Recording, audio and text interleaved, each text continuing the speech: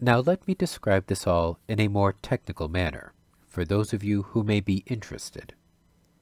When a treasury bill, note, or bond is purchased by a bank, for example, the government makes two entries on its spreadsheet that we call the monetary system.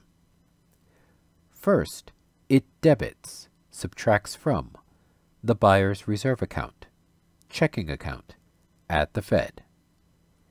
Then it increases, credits, the buyer's securities account, savings account, at the Fed.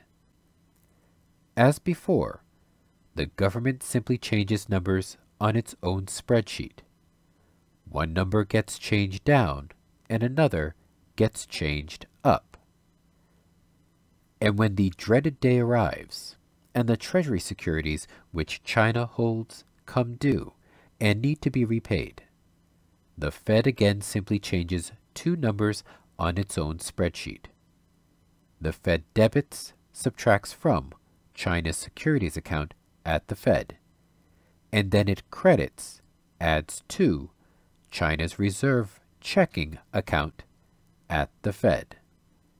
That's all. Debt paid.